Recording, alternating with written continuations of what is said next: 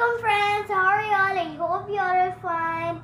So today I'm going to tell you about Ramzan tips. So stay tuned. Here are the tips.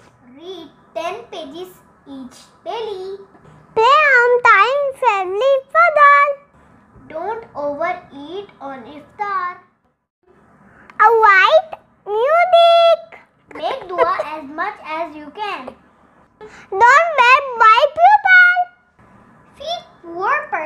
if you able to. Read about Prophet donate. Don't make yourself or anyone angry.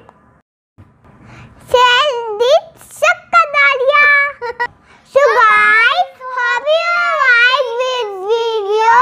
So if you like this video, so please thumbs up, thumbs up,